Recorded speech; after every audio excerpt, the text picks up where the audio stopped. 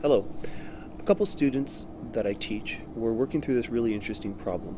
And what it was, was to find the sum of all even Fibonacci numbers less than 4 million.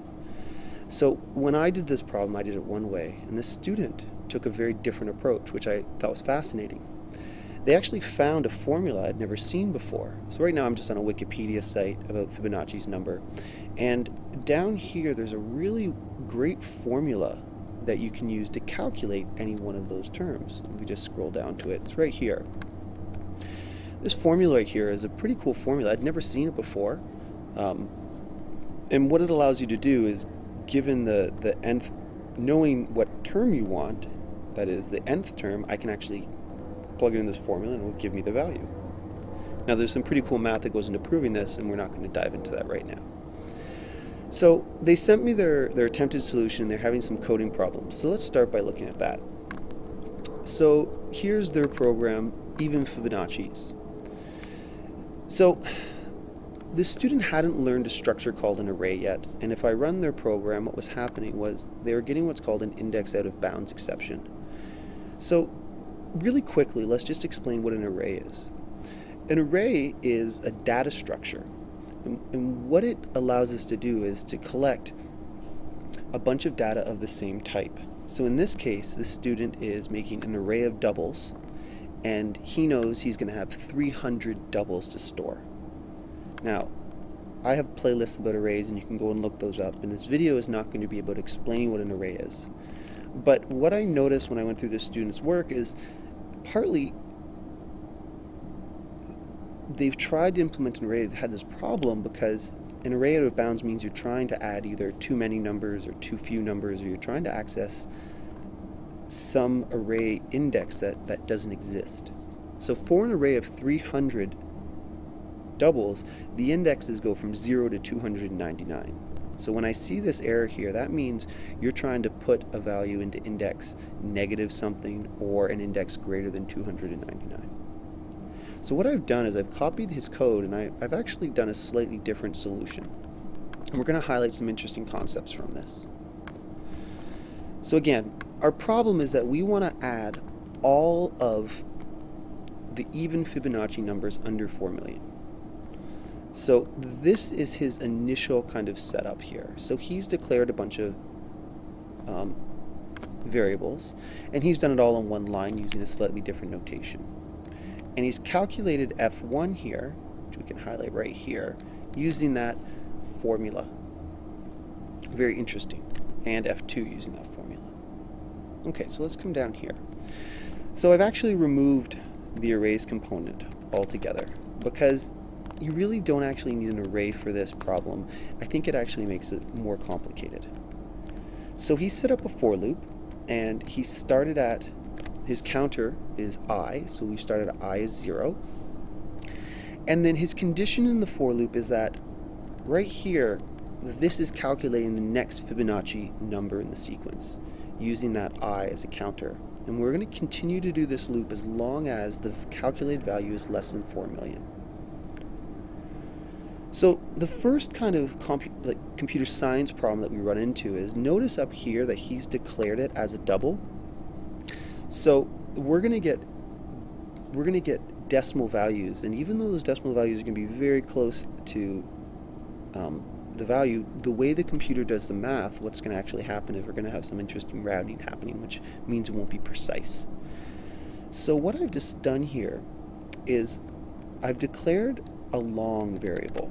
Now a long is, is like an integer, but it allows you to hold larger integer values. So in my course, we say we only talk about integers, but there's actually a number of different types of variables to store integers.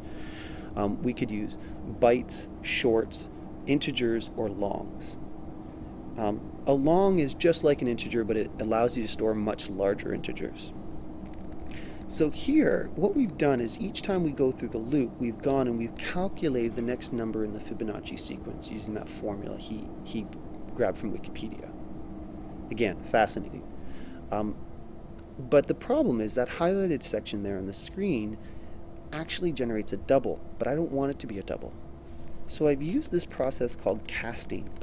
By putting the word long in brackets, in front of that calculation, what's going to happen is it will calculate the number here as a double, but then it will just force it to become an integer value by chopping off whatever decimals exist. So notice here, I'm going to remove this system this comment here, and I'm going to actually see here how I have the word long there. Let's remove that. So if I run this program right now, it's going to print out every one of the Fibonacci sequence here. And watch what happens if I run this. We scroll up. See how it has all those decimals there? Um, notice as we get larger in the Fibonacci sequence, what's happening is the way the computer does the calculation, we get these decimals added in. So what I want to do is I want to just chop all those decimals off. And to do that, I, I cast it. So by, again, this is the process of casting. It's saying whatever you calculate in front of this, which is this value here, just chop off the decimals. So now if I run this, see how there's no decimals anymore? So now I can, I just have to figure out which ones are even and then add them together. And I'm going to comment this line out again because that was just for me, my help to debug this. So what I do, like I said, is I've declared a long here and then I've calculated the specific Fibonacci sequence number and I've forced it to be a long. So then I've put an if statement here and what this if statement does is it takes that that temporary variable that I've just stored the most recent Fibonacci number into and I check if when I mod it by 2 it's equivalent to 0 because remember mod gives us the remainder when we go through the division process. So even numbers when we divide them by 2 the remainder should be 0 so if I take a number, mod it by 2, and the remainder is 0, that means the number is even. So if a number mod 2 is equivalent to 0, that means that means no remainder. And let's just tab this over to make this look nice.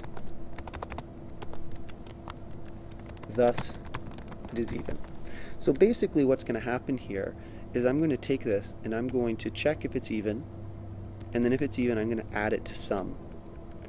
And notice here I go through the whole recalculation process but I actually don't have to. I can just take the temp and just add temp to it.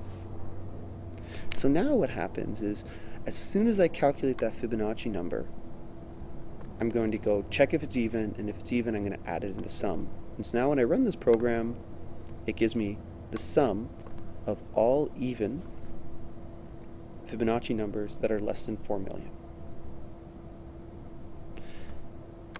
So again, this is a really cool approach to this problem. It, it, probably isn't the most elegant approach, but it really does highlight some really cool stuff about computer science, and, and that is there's lots of ways to do these problems.